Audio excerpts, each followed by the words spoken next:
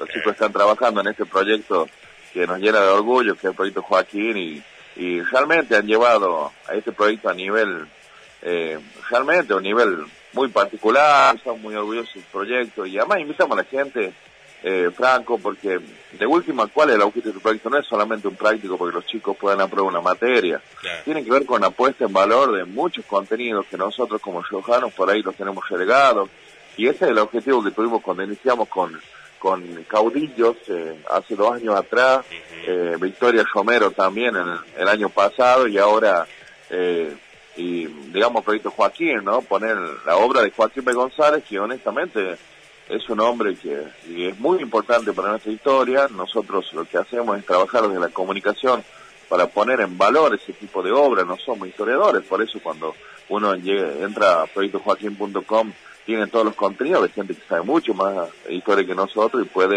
de alguna manera dar los marcos, pero digo, esta nueva narrativa, esta nueva forma de ver las cosas, esta nueva forma de acercar.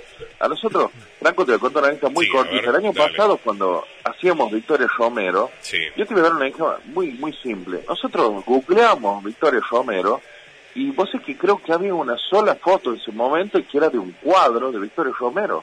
Ah, Imagínate en el año Claro. 2019 no tener imagen de Victoria Romero en la web o no tener contenidos.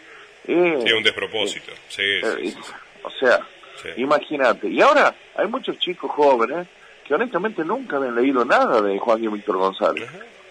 O sea, eh, también, viste, estos temas, no, por decir, bueno, hablamos de transmedia, comunicación digital, por ahí para, eh, hay cierto público que por ahí le cuesta, ¿no? De escuchar esto, qué es, pero yo creo que es más simple por ahí, ¿no? Es decir, ¿cómo puede ser que como riojano, eh, nosotros teniendo toda la potencialidad que nos da la Universidad Nacional de Rioja, no Claro. desarrollemos herramientas para poner en valor estas cosas?